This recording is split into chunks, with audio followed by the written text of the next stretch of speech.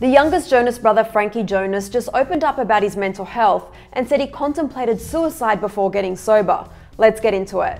Jonas Brothers fans know that Nick, Joe, and Kevin aren't the only Jonas offspring. The Jo Bros have a younger brother named Frankie who's 20 years old and isn't part of the Jonas Brothers band. Over the years, Frankie has forged his own path as both a child actor, a musician, and he's currently in college. But over the past couple of years, he's also completely blown up on TikTok and has nearly 2 million followers. On his page, he posts everything from comedy videos to challenges to funny pranks he pulls on his brothers. But Frankie has also gotten real with fans on the platform about issues like mental health, including his own struggles. Before we dive into everything Frankie said, I just wanted to issue a trigger warning that we'll be discussing heavy topics like substance abuse, and suicidal ideation, so please only continue watching if you feel comfortable and safe doing so. Early Monday morning, Frankie responded to a fan who asked him about his sobriety and how he overcame his drug abuse he'd mentioned in another TikTok.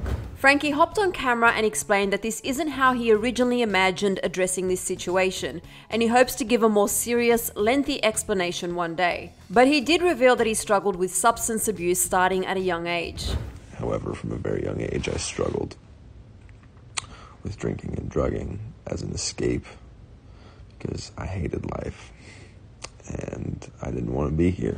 Fans who've been following Frankie for a while now know that when he was 16 years old, he faced some trouble with the law for possession of marijuana. In his recent TikTok, Frankie went on and explained that eventually his mental health got to such a bad place that he contemplated taking his own life. I eventually, after many years of trying to kill myself accidentally, came to a point where I was going to do it for real and something intervened and my life was saved.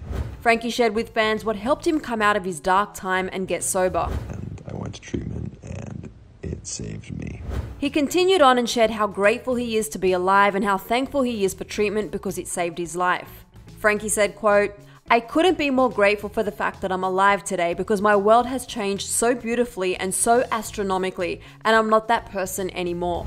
I couldn't be more grateful for the fact that I'm alive today. And we truly couldn't be happier as well. It takes a lot to share this kind of personal information, and we wanted to thank Frankie for his bravery and vulnerability. Fans are thanking him in the comments of his post. One person wrote, Frankie, I love you and I'm so happy you're here. Another wrote, It takes a lot to share this. Glad you're still here. This fan said, in awe of and inspired by your vulnerability and authenticity, you are making this world a brighter place. And this person candidly wrote, as someone who also struggles with this, thanks for sharing your story. And Frankie is only just getting started. Earlier this month, he shared that he's a year and a half sober. I've been sober for a year and a half. Um, it's like one of the biggest blessings and most incredible and hardest journeys of my life.